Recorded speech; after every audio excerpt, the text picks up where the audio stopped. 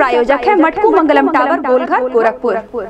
दो दिवसीय दौरे पर रविवार को अपने गृह जनपद गोरखपुर पहुँचे मुख्यमंत्री योगी आदित्यनाथ ने सोमवार की सुबह हिंदू सेवाश्रम में लगाया जनता दरबार करीब 250 फरियादियों की सुनी फरियाद निस्तारण के दिए आदेश।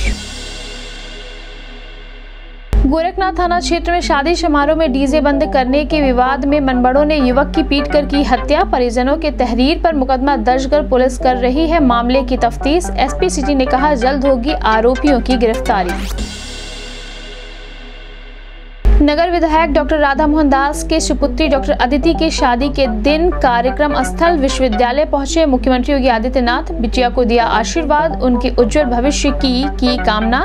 सीएम के पहुँचते ही खुशी से झूम उठा पूरा परिवार। डॉक्टर अदिति ने कहा, मुख्यमंत्री योगी आदित्यनाथ भी मेरे परिवार के सदस्य जैसे। मिला उनका आशीर्वाद। वीडियो कॉन्फ्रेंसिंग के माध्यम से भारत निर्वाचन आयोग के सेक्रेटरी जनरल उमेश सिन्हा ने विधानसभा मतदाता सूचियों के पुनरीक्षण कार्यों की की समीक्षा, कहा, तैयारियाँ रखे पूरी, निर्वाचन संबंधित कार्यों में लाए तेज़ी। 26 नवंबर को चाकू मारकर अपने साले की हत्या करने वाले दो अभियुक्तों को कोतवाली पुलिस ने किया गिरफ़्तार। घटना में प्रयुक्त चाकू व लोहे का पाइप किया बरामद, एसपी सिटी ने किया खुलासा। जिलाधिकारी की अध्यक्षता में संपन्न हुई प्रधानमंत्री के आगमन की तैयारियों की समीक्षा बैठक कार्यक्रम के सफल आयोजन के दिए निर्देश। 20 नवंबर को महिला को हत्या की नियत से चाकू मारने वाले एक अभियुक्त को खोराबार पुलिस ने किया गिरफ़्तार, एसपी सिटी ने किया खुलासा। महापौर की अध्यक्षता में आयोजित हुआ राष्ट्रीय क्षय रोग उन्मूलन जागरूकता कार्यक्रम टीबी रोग के लक्षण और बचाव की दी गई जानकारी।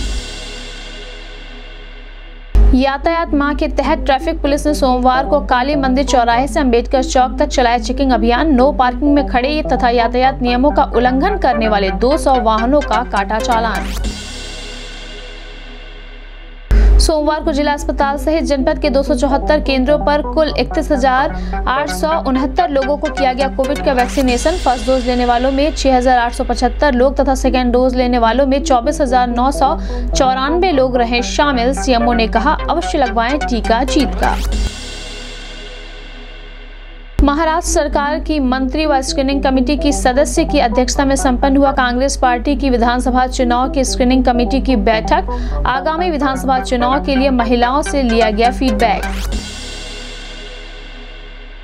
और सेंटर ड्यूज कॉलेज के स्थापना सप्ताह समारोह के तहत आयोजित हुआ एकल गायन प्रतियोगिता। प्रतियोगी छात्र छात्राओं ने गायन में दिखाया अपना हुनर। विजयी प्रतिभागियों को मंगलवार को किया जाएगा पुरस्कृत।